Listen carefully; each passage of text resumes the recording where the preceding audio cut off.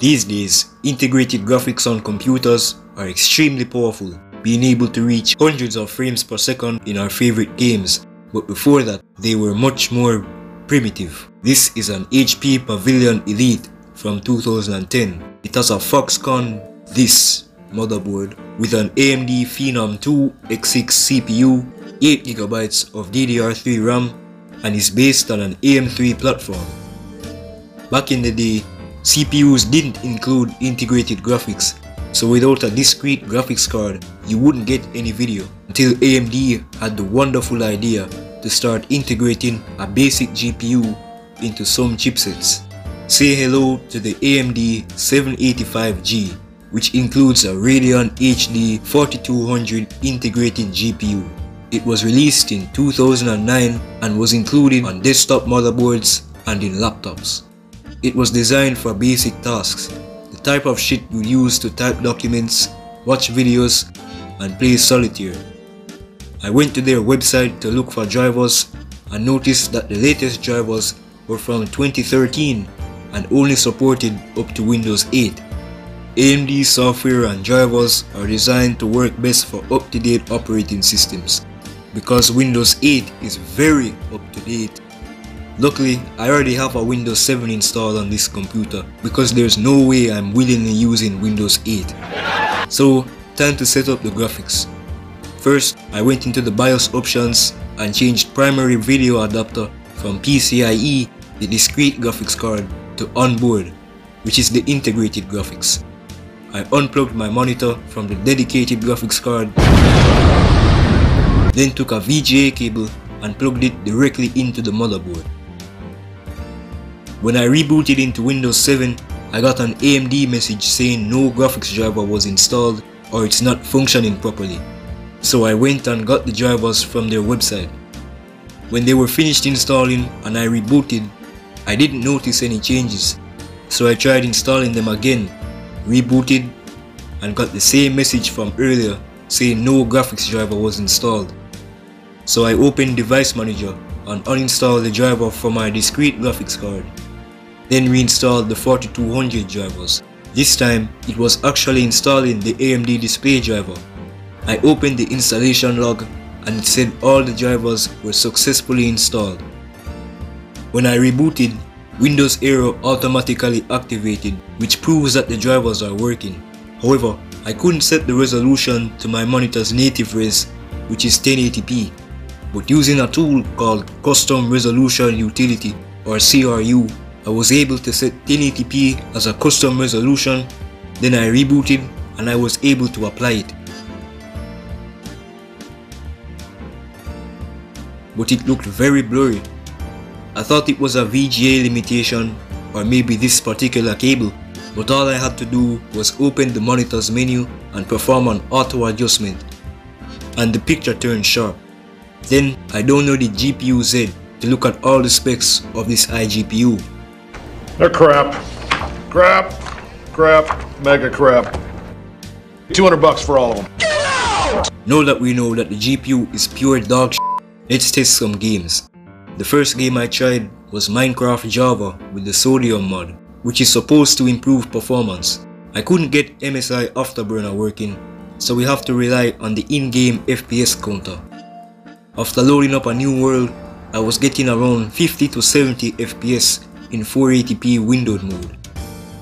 But when I went into full screen mode, not only did the frame rate fall off a cliff to around 23 FPS, there was also this strange input lag that affected the keyboard and mouse. This doesn't happen at lower resolutions.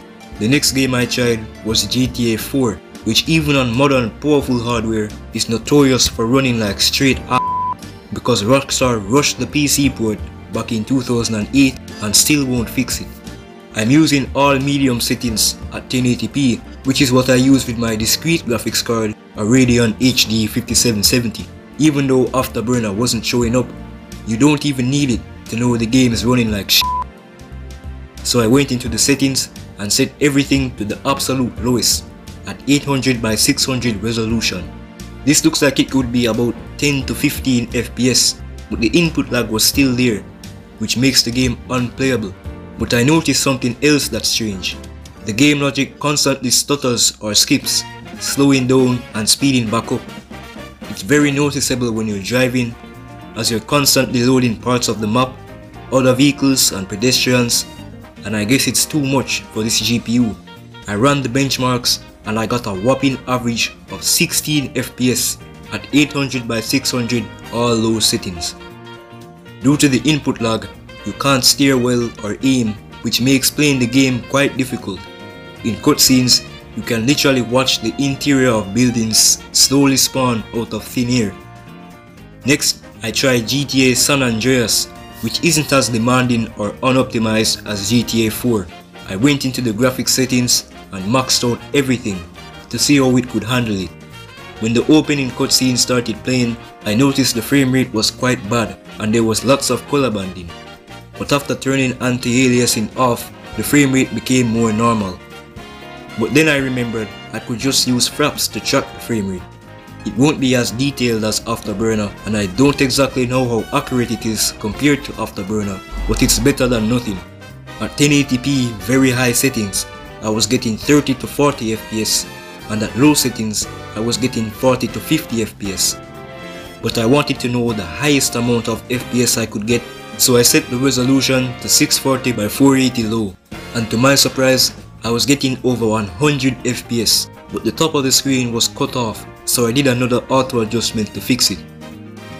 I tried to find a middle ground so I set the resolution to 720p and I was able to get 60 to 70 fps with low settings. But when I set the resolution back to 1080p to test it, I was getting lots of input lag and the same smooth skipping from earlier. I can barely drive. The broken color depth here doesn't help either as it makes the whole game look deep fried. I activated the flying car cheat and flew up into the sky.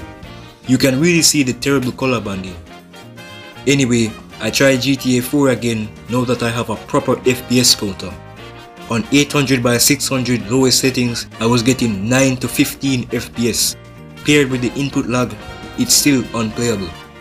I tried 1080p lowest settings and I was getting a staggering 1 to 6 FPS with truly unlocked PowerPoint mode. Driving directly into a pole, I couldn't steer away even though I had all the time in the world.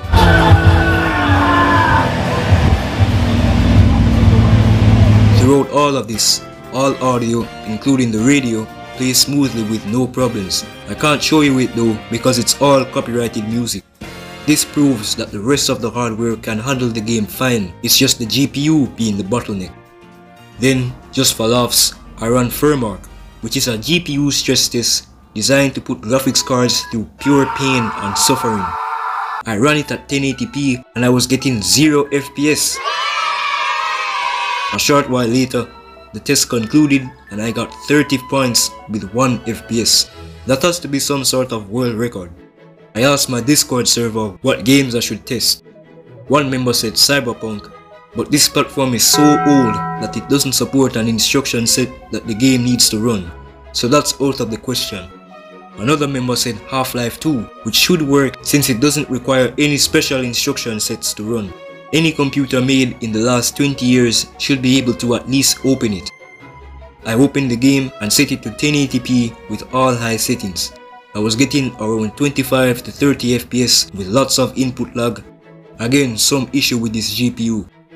When I tried setting the resolution to 720p, the picture completely broke, which is either a problem with the game, the monitor, or the GPU.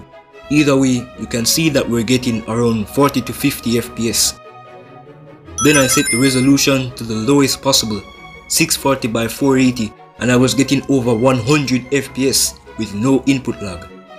The final thing I wanted to find out was, can it run Crysis?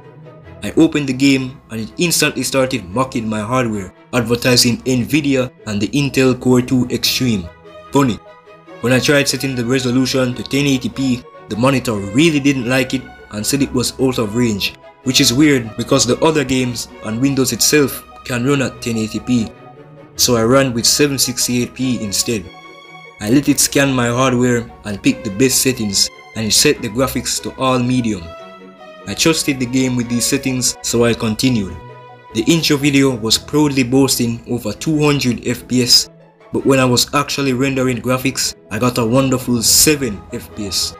I set the graphics to all low and it barely helped. I was getting 13 FPS. Then I set the resolution to the lowest it goes 800 by 600 and I was getting an inconsistent 30 to 40 FPS that dips down to 10 at times. At 768p there is loads of input lag which makes the game completely unplayable. Can't run Crysis confirmed. According to Tech Power, it lists the GPU as only being playable at 640x480 resolution and unplayable at 720p and up, which aligns with what my experience shows. It's also being listed as being over 500% weaker than a GT 430, which is one of the graphics cards of all time. And that was the Radeon HD 4200. The lesson we learned today is that you should never plug your monitor directly into your motherboard. If you made it this far, that means you enjoyed the video. Leave a like if you liked it, leave a dislike if you dislike it, comment your thoughts, and subscribe below to the channel. Thanks for watching.